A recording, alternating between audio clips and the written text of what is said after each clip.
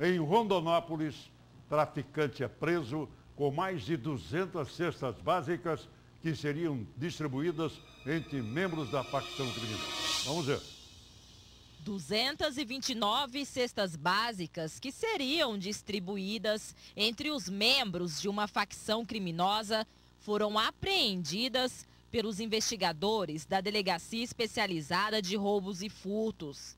Além das cestas, outros materiais também foram apreendidos em uma casa alugada no bairro Serra Dourada. Um jovem de 22 anos foi preso. Aproximadamente um mês vim investigando um suspeito do, de controlar o tráfico de drogas no bairro Serra Dourada.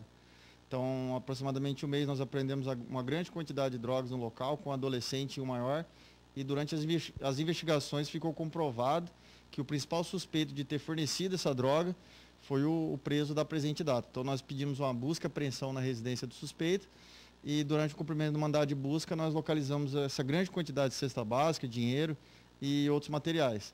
É, pelo apurado, essa cesta básica foi adquirida com, com recurso oriundo do, do crime e seria destinada a membros do, de uma facção criminosa. O próprio indiciado preso confessou que o dinheiro veio da, da organização e que eh, teria adquirido esse produto para a própria organização criminosa. Então ele será, foi autuado em flagrante pelo crime de integrar organização criminosa, que tem pena de até oito anos de, de, reclusão, e nós representaremos aí ao Poder Judiciário para que esse material seja doado a instituições eh, filantrópicas aqui da cidade de Rondonópolis.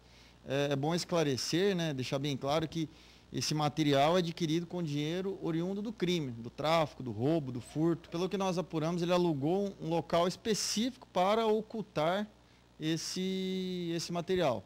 Ele residia ali em é anexo, é uma casa em L, né, mas esse compartimento em que foi localizado foi alugado especificamente para ocultação é, desse material ilícito. Preliminarmente, o, o apurado é, é, que serviria ali para os próprios membros é, faccionados.